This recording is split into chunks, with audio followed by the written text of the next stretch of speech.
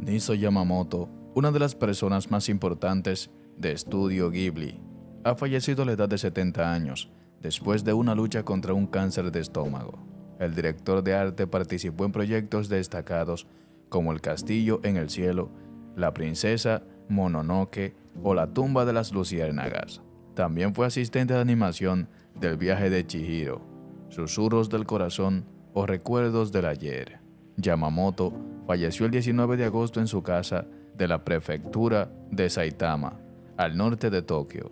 Así lo anunció este lunes su hijo mayor, Takao Yamamoto, a través de un comunicado en redes sociales. Además de haber sido uno de los directores de artes más importantes que han pasado por Estudio Ghibli a finales de los años 70, Yamamoto ya estaba realizando otro tipo de proyectos, también centrados en animación. De estos proyectos destacan Ana de las Tejas Verdes, Ashita e Ataku y Conan, el niño del futuro.